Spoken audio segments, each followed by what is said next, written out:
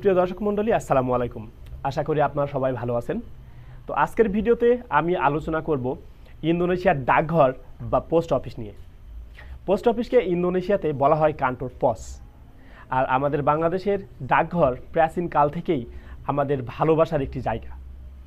তো ইন্দোনেশিয়ার পোস্ট অফিসগুলোতে কী ধরনের সার্ভিস দিয়ে থাকে এগুলো জানার পরেই আপনারা বুঝতে পারবেন বাংলাদেশের ডাকঘরের সাথে ইন্দোনেশিয়ার ডাকঘরের সার্ভিসের ভিতরে পার্থক্য কতখানি। তো চলুন আমরা আর দেরি না করে দেখে আসি ইন্দোনেশিয়ার পোস্ট অফিসগুলোতে তারা কী ধরনের সার্ভিস দিয়ে থাকে। আর হ্যাঁ আপনারা এখনও পর্যন্ত যারা আমার চ্যানেলটি সাবস্ক্রাইব করেনি আমার চ্যানেলটি সাবস্ক্রাইব করে নেবেন।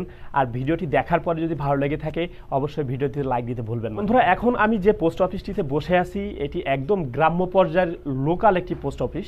অবশ্যই সেবার মান একই ধরনের, শহর বা গ্রাম, সেটা বড় বিষয় না। তো আমরা এখন এখানে যে দেখব যে তারা কী ধরনের সার্ভিস দিয়ে থাকে। চলুন এখন ভিতরে যাওয়া যাক। আসসালামু আলাইকুম। তো বন্ধুরা এই হচ্ছে ইন্দোনেশিয়ার পোস্ট অফিস এবং এটা একদমই গ্রাম্য পর্যায়ে যে লোকাল পোস্ট অফিস আমি ইতিপূর্বে বলেছি। তো দেখুন এখানকার অফিসের পরিবেশটা এবং আমরা এখন এখানে যে কাজ করতেছে যে ব্যক্তিটি ইনার কাছে জিজ্ঞাসা করব যে এই পোস্ট অফিসের মাধ্যমে তারা কি ধরনের নাগরিক সেবা দিয়ে থাকে বা কি ধরনের সার্ভিস দিয়ে থাকে। তো চলুন আমরা ওনার মুখ থেকে শুনে আসি।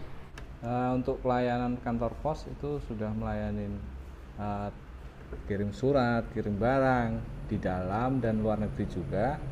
Dan untuk eh, pengiriman uang juga kita ada, pengiriman penerimaan uang juga kiriman cash dari luar negeri Western Union dan Bank BNI, Mandiri, Wesel bisa juga di kantor pos. Untuk transfer antar bank dalam negeri juga bisa dan masih eh, ada yang terbaru untuk produk apa digital namanya Postpay layanan keuangan bisa untuk transfer dan menabung tanpa admin bulanan dan tanpa bunga bulanan সুপ্রিয় দর্শক মণ্ডলী এতক্ষণ ধরে উনি যে বিষয়গুলো ব্যাখ্যা করলেন যে এখানকার পোস্ট অফিসের মাধ্যমে যে ধরনের সেবা ইনারা দিয়ে থাকেন সেটি এখন আমি আমাদের ভাষাতে ব্যাখ্যা করার চেষ্টা করব তো সর্বপ্রথম যে সার্ভিসটি সেটি হচ্ছে ইন্দোনেশিয়ার লোকালি বা ইন্টারন্যাশনালি প্রোডাক্ট নেওয়া বা পাঠানো। অর্থাৎ কেউ যদি আপনার কাছে প্রোডাক্ট পাঠায় অথবা আপনি যদি কারও কাছে প্রোডাক্ট পাঠান, সেটা হোক ডোমেস্টিক্যালি বা ইন্টারন্যাশনালি এই কান্ট্রোল পস অর্থাৎ পোস্ট অফিসের মাধ্যমে আপনারা সেটা পাঠাতে পারবেন এবং এখান থেকে গ্রহণ করতে পারবেন। দ্বিতীয় যেটি, সেটি হলো এই কান্ট্রোল পসের মাধ্যমে, অর্থাৎ পোস্ট অফিসের মাধ্যমে আপনারা টাকা লেনদেন করতে পারবেন ইন্টারনালি এবং ইন্টারন্যাশনালি। ইন্টারনালি আপনারা ইন্দোনেশিয়ার ভিতরে যে কোনো জায়গায় এই টাকা পয়সা লেনদেন করতে পারবেন। যাদের ব্যাংক অ্যাকাউন্ট নেই, তাদের কাছে টাকা পাঠাতে পারবেন এই কান্ট্রোল পসের মাধ্যমে। অথবা ইন্টারন্যাশনালি ধরুন আপনার কোনো ফ্যামিলি মেম্বার বা কোনো ফ্রেন্ডস বা যে কেউ হোক না কেন, যারা দেশের বাইরে থাকে তাদের কাছে টাকা পাঠাতে পারবেন এবং বাইরে থেকে যদি কেউ টাকা পাঠায়, সেগুলো আপনারা এই কান্ট্রোল পসের মাধ্যমে উইথড্র করতে পারবেন এখান থেকে। আমাদের দেশে কিন্তু মানুষ বাংলাদেশ থেকে বাংলাদেশের বাইরে টাকা পাঠাতে পারে না, কিন্তু টাকা তুলতে পারে। ধরুন, আমি এখন ইন্দোনেশিয়াতে আসি আমি এখান থেকে বাংলাদেশে টাকা পাঠাতে পারব, কিন্তু বাংলাদেশ থেকে যদি কেউ টাকা আমার কাছে পাঠাতে চাই সে পারবে না। হয়তো বা আমাদের দেশে গভর্নমেন্ট মানি লন্ডারিং ঠেকানোর জন্য হয়তোবা এই ব্যবস্থা করে রাখছে যে শুধু রেমিটেন্স পাঠানো যাবে, কিন্তু বাংলাদেশ থেকে কোনো টাকা দেশের বাইরে পাঠানো যাবে না। কিন্তু এটার একটা নেগেটিভ সাইড আছে। আমি ভিডিওর মূল যে বিষয়বস্তু সেটাতে একটু পরে যাব।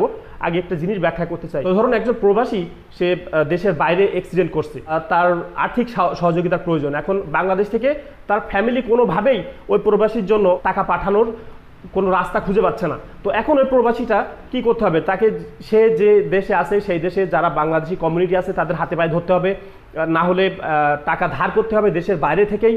কিন্তু কোনোভাবেই বাংলাদেশ থেকে ওই প্রবাসীর কাছে টাকা পাঠানোর কোনো সিস্টেম নেই। তো মাননীয় প্রধানমন্ত্রী অথবা প্রবাসী কল্যাণ যে মন্ত্রী আপনারা যারা আছেন আপনারা কিন্তু এই বিষয়টি একটু ভেবেচিন্তে দেখতে পারেন যে, কোনো প্রবাসী যদি দেশের বাইরে কোনো বিপদের সম্মুখীন হয়, তার যদি টাকা পয়সার প্রয়োজন হয়, সে কেন বাংলাদেশ থেকে তার ফ্যামিলি কোনো টাকা তাকে দিতে পারবে না? এটার ব্যাপারে আপনাদের একটা পদক্ষেপ নেওয়া উচিত। আর তৃতীয় হচ্ছে ই ওয়ালেটের মাধ্যমে এখান থেকে লেনদেন করা যায়। ইন্দোনেশিয়ার বেশ কয়েকটি ই ওয়ালেট আছে, আপনারা জানেন, যেমন অভো শপি গোপে সহ বিভিন্ন ধরনের ই ওয়ালেট আছে। সেই ই ওয়ালেটের মাধ্যমে এখান থেকে হচ্ছে টাকা পয়সা ক্যাশ আউট করা যায় অথবা এখান থেকে টাকা ডিপোজিট করা যায় এই কান্ট্রোল পসের মাধ্যমে। এবং আরেকটি বিষয় হলো, ইন্দোনেশিয়ান গভর্নমেন্ট থেকে যে সহযোগিতা আসে গরিব মানুষের জন্য, সেই সহযোগিতাও কিন্তু এই কান্তর পসের মাধ্যমে আসে। তো যারা এই সহযোগিতা পাওয়ার উপযুক্ত যারা তারা কিন্তু এই কান্তর পসের মাধ্যমে এসে তাদের সেই গভর্নমেন্টের যে সহযোগিতার যে টাকা পয়সা বা প্রোডাক্ট যেটাই হোক না কেন, এই কান্তর পসের মাধ্যমে কিন্তু তারা এখান থেকে নিতে পারে।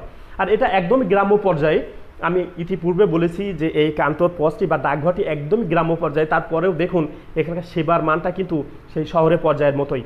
অর্থাৎ এই গ্রামে বসেই মানুষ দেশ বিদেশে টাকা পাঠাতে পারছে, টাকা রিসিভ করতে পারছে, তাদের প্রোডাক্ট পাঠাতে পারছে এবং প্রোডাক্টের বিষয়ে একটা কথা বলি, আমাদের যে ডাকঘর আছে আমাদের বাংলাদেশে, সেই ডাকঘরের মাধ্যমে যদি কোনো প্রোডাক্ট কেউ দেশের বাইরে থেকে পাঠায়, তাহলে সেই প্রোডাক্ট পাইতে গেলে আখিরি প্রাপক যে, প্রাপকের কাছে প্রোডাক্ট যাবে কি না আল্লাপাক সেই জানে আর আমাদের ডাকঘরের যারা কাজ করে, তারাই জানে। আর ইন্দোনেশিয়ার ডাকঘরগুলোতে বা এখানকার যে কান্তর পস আছে, এখানে সব কিছুই অনলাইন সিস্টেম এখানে মানুষ প্রোডাক্ট নেওয়া বা প্রোডাক্ট রিসিভ করা সব কিছুই কিন্তু এই অনলাইনের মাধ্যমে হয়ে থাকে এখানে যে ডেস্কটপ দেখতে পাচ্ছেন। তো এখানে তারা প্রোডাক্ট পাঠানো বা রিসিভ করার ক্ষেত্রে তারা ট্র্যাকিং নাম্বার দিয়ে থাকে। অর্থাৎ এটা কান্টোর পস বা ডাকঘরের মাধ্যমে মানুষ যদি প্রোডাক্ট পাঠায়, তবুও প্রাইভেট যেসব কুরিয়ার সার্ভিস আছে, তাদের মতো কিন্তু সেবা পেয়ে থাকে। কারণ ট্র্যাকিং নাম্বার পেয়ে যায়। তো ট্র্যাকিংয়ের মাধ্যমেই তারা জিনিসটা চেক করতে পারে যে তাদের প্রোডাক্টটি কত দূর গেল বা কতক্ষণ লাগতে পারে। সব কিছু কিন্তু তারা ঘরে বসে চেক করতে পারে এই কান্ত পসের মাধ্যমে। তো আজকের এই ভিডিওর মাধ্যমে আমি আমাদের বিভাগ যে ব্যবস্থা আছে, তাদের কাছে একটি মেসেজ দিতে চাই। আপনারা অবশ্যই আমাদের দেশকে এগিয়ে নেওয়ার জন্য চেষ্টা করছেন, আমাদের দেশকে ডিজিটাল করার চেষ্টা করছেন। তো আসলে আপনাদের যে ডিউটিগুলো আছে বা আপনাদের যে সিস্টেম আপনারা যেভাবে আমাদের ডাকঘরকে মেনটেন করে, এটা আসলেই অ্যানালগ অবস্থায় পড়ে আছে, কিন্তু নামে ডিজিটাল তো বন্ধুরা, এই ছিল আজকের ভিডিও আশা করি আজকের ভিডিওটি দেখার পরে আপনারা ইন্দোনেশিয়ার যে ডাকঘর বা কান্ট্রোল পস এবং আমাদের বাংলাদেশের যে ডাকঘর বা পোস্ট অফিস বিস্তারিত জানার পর আপনারা বুঝতে পেরেছেন যে আসলে পার্থক্যটা কোথায়। তো আমাদের বাংলাদেশের যে ডাক বিভাগ অথবা আমাদের প্রবাসী কল্যাণ যে মন্ত্রণালয় আছে তাদের বিষয়ে আমি দৃষ্টি আকর্ষণ করছি যে আপনারা প্রবাসীদের বাংলাদেশ থেকে যদি টাকা পাঠানোর কোনো ব্যবস্থা করেন, তারা যদি দেশের বাইরে অসুস্থ হয় বা কোনো বিপদের সম্মুখীন হয়, তাদের এই বিষয়টি আপনারা মাথায় রাখবেন। আর ডাক ব্যবস্থাপনায় যারা, আপনারা যারা আছেন, তারা আপনারা আমি বলছি না আপনারা ইন্দোনেশিয়াকে ফলো করেন, কিন্তু আপনারা বহির্বিশ্বের অন্যান্য দেশকে রোল মডেল হিসেবে দেখেন। তারা কীভাবে তাদের দেশের পোস্ট অফিসকে কন্ট্রোল করে সব কিছু অনলাইন এবং ডিজিটালি তারা কীভাবে জিনিসটা নিয়ন্ত্রণ করে, আপনারা সেটা দেখে আমাদের বাংলাদেশের ডাকঘরকেও আপডেট করুন, দয়া করে।